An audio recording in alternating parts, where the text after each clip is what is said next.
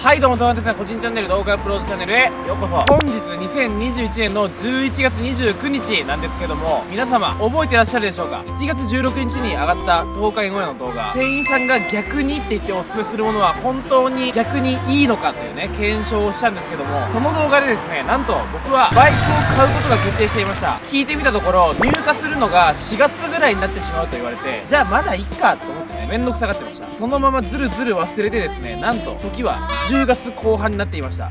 あそうだ。俺バイク買うんだったと思って問い合わせたんです。そしたらなんとですね僕の購入する CB400 スーパーフォアが超人気車種になっていてとてもじゃないけど新車で買える状況じゃないということになってしまいました。しかしなんとですね僕は今回新古車みたいなものを手に入れることができるとなりまして再来週ぐらいに納車します。おめでとうございます。どうせ買うならツーリング動画とか撮りたいなと思いましてその前にちょっと練習しておこうということでバイクに乗るのも久々だしバイク動画の撮り方も全くわからないということで今回はバイク動画を撮る練習動画 GoPro を使ったりとか普段使わないような新しいカメラも買ったりもしたんでねそれを設置して一体どんな風に見えてるのか今ここでつけて乗ってみてデータもすぐ確認していやもうちょっとこうした方がいいなっていうのがあったらすぐに直してここで完璧な撮り方をね見つけていきたいと思います。その前にね元愛車自慢していいですか？ちょっと見てくださいこのこの限定カラーのかっこよさ。ちょっとめっちゃ洗車しなくて汚ねえな。埃だらけだ。父親にねあの譲って、まあ、保険的には僕も乗れるということでねたまに乗ったりもしていいよということだったんですけど本当に今回超久々に乗りました。このねいろいろとハンドル周りとかねこのエンジンとかマフラーとかあるじゃないですか。ごちゃごちゃしたものがね。僕が唯一カスタムしたもの。ここです。バーエンド。赤色にしました。可愛いでしょ。ああ見ないで。ここは見ないで。ここは見ないで恥ずかしいから。立ちこけしたとこは見ないで。丸のライトをねこれが最高にかっこいいんですけど中古で買ったんでこの変な下敷きついてたんですよ。友達に散々バカにされましたこれ。なんでお前のスーパー下敷きついてんのってね。当時の僕はねこれどうやって外したらいいんだと分かり分からなくてつつけてたんですけど今ではそれも愛着がありますね早速まず GoPro からつけていきたいと思います。GoPro10 ですね。アタッチメント的なものを買いました。バイク動画見てなんかおすすめの付け方があったんで早速ヘルメットにつけていきましょう。はまんねえな。え？え？何を？これ。何これ？何？どういうこと？あ？おすすめされたやつ買ったんですけど全然意味がわからない。本当にこんなんでいいの？あーくそ。なんだこれ。あ抜けた。なんやかんやあってこんな感じになりました。すげえもうごちゃごちゃのヘビが出来上がりました GoPro の。マジ無事 GoPro のマウント早速ここシールでね取り付けていきたいと思います。怖いな。俺の元ブログ人生かかってんだ。よおいいぞ。いい吸着具合。いいんじゃない？おおオッケー GoPro の設置完了しました。あー疲れた。マジで何十分やってんのってぐらいこれやってたわ。で最後にマイクを取り付けようと思いましてね。ヘルメットかぶって喋る声っていうのはカメラのマイクじゃなくて中に繋がってるねマイク。これが必要なんですよ。それを取り付けようと思ったんですけども変換の何かがいるみたいでマイクはあるんですけどここにさせないんですね。なので音が取れませんなじみのデデデンデデンデデデンデデデンを聞いていただきましたところで。今日は絵だけ声は後で何とかしたいと思います。もう撮る撮る撮る。行くよ早速、えー、まず普通の広角すんごい広いやつじゃなくてね。まあ広めですねっていうモードで撮ってみたいと思います。それでは早速かぶっていきたいと思います。よいしょっと。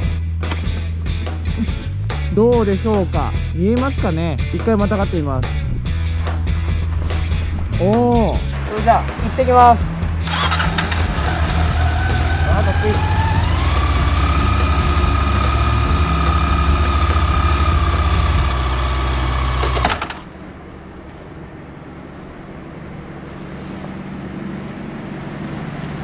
えなんで？なんで？あスタンド立てっぱなしだった。スタンド立ててるとエンジン止まるんですよ。いいバイクでしょ？安全でしょ？それを教えたかったんですよ。もう恥ずかしいから早く風浴びてくるわ。オッケー。じゃあね。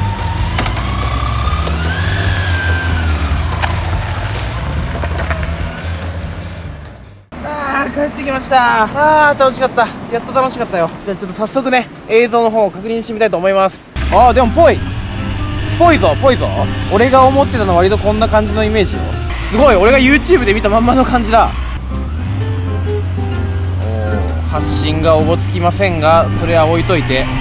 あぽいぽいぽいすごいこれだ。えもう一発で決まりじゃん。これでいいじゃん。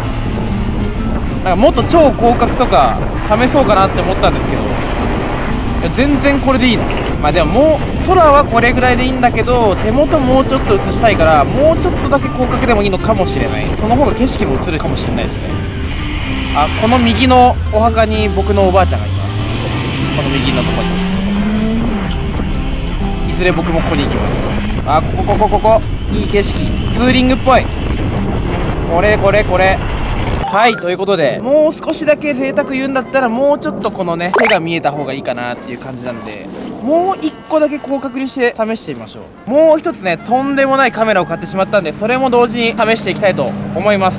じゃじゃん！こちらが今回導入した最新の最強カメラ。インスタ 360-1X2 でございます。その名の通りなんと360度カメラでございます。ちなみにあのインスタグラムとは何の関係もございません。ここのクリップをこういうとこにこうやって挟んだりハンドルにつけたりするともう360度撮っておいて後で好きなように編集で前を映したり僕を映したりもしくはこの後ろからねまるでドローンで追ってるかのような映像が撮れるというもので。一回試してみましょう。はい。多分今ね僕の姿が見えてると思うんですけどもあっちの僕の見てる右側とか左側とか見えないじゃないですか。ちょっと一回広げてみましょう。でん真横まで見えるようになりました。そしてさらに向こう側今僕ずっとこうやってねカメラ向かって喋ってるんですけど何もせずにあちら側を映すこともできます。じゃん。はいカメラマンがモザイクで入っておりますが僕の見ている目線の先もね一切動かずに撮ることができます。そして何がすごいってねこの持ってる棒がね映らないんですよ。まず伸ばしますね棒をこうやって。でこれをこうします。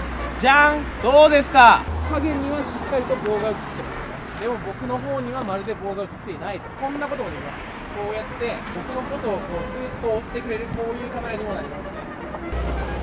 こうすると後ろからドローンで撮られてるかのような画角になるという素晴らしいカメラでございます。どうですかこれ。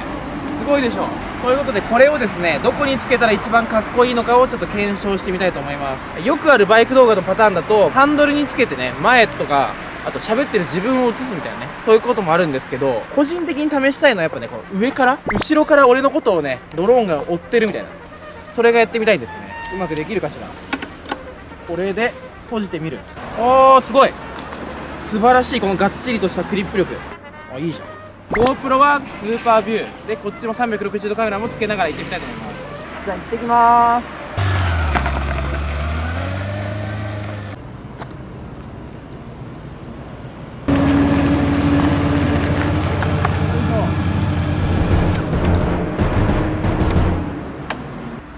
よいしょ。うん。まあ運転はもう手慣れたもんですよ。えええちょっと待って待ってええええええええええ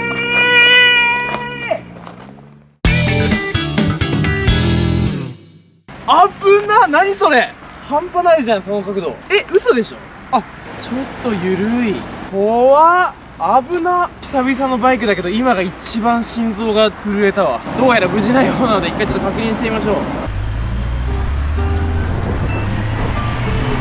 あーでもこっちの方がいいかも。手がちゃんと入ってるし上もしっかり綺麗だし。あんまりカメラをこうやって動かすと歪んじゃうけど広角で気持ち悪いみたいなのないです。広角じゃなくてスーパービューでいきたいと思います。決定。さあ次本題ですよ。インスタ360でこっち見てみましょう。この皆さんが見てる動画はまあいい感じに編集してあると思います。さあ出発。うわすげえすげえすげえすげえすげえすごすぎる。すごいぞこれ。マジですごい。うわーすげえ。感動するレベルの映像なんだかこれは。もうちょっと倒しといてもよかったかもな。ちょっと上からすぎる感じがありますね。カメラに向かってねおばあちゃんのお墓こちらですっていうねあのご紹介したんですけど。あほらほらほら。おばあちゃんの方がしっかり映ってるほら。あーすごいほら。しっかり映ってるよ。いやこの先別に落ちるようなことなかったと思うんだけど。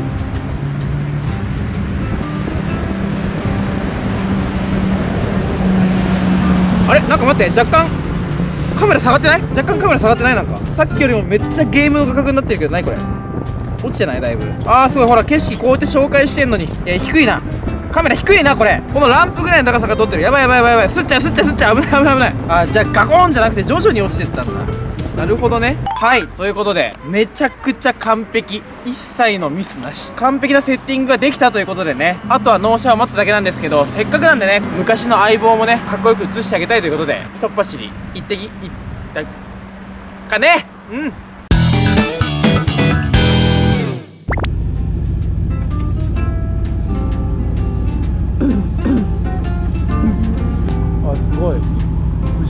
バイカーさんがいますね。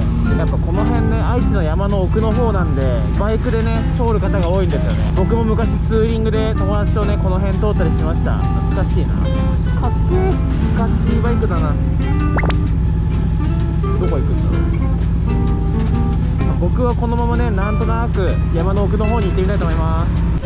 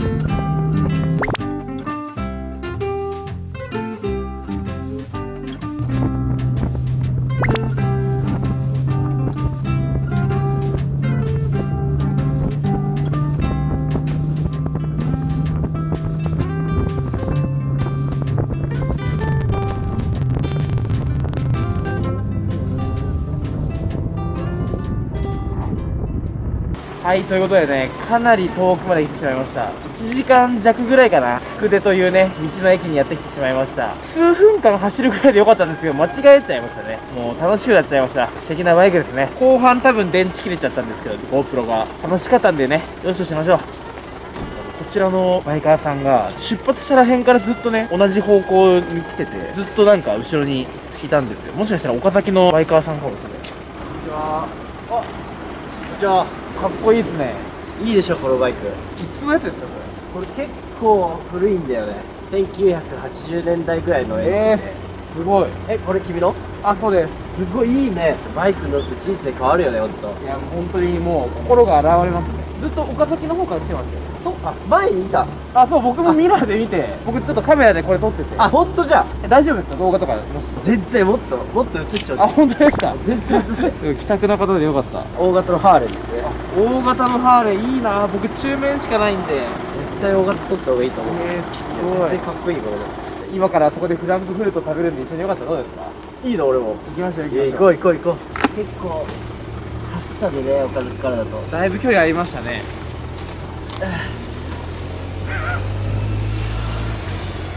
いいねバイク。ジャスお前お前やん。ジャスフランクフルトいただきましょう。いただきます。うわうますぎるけどうめえ。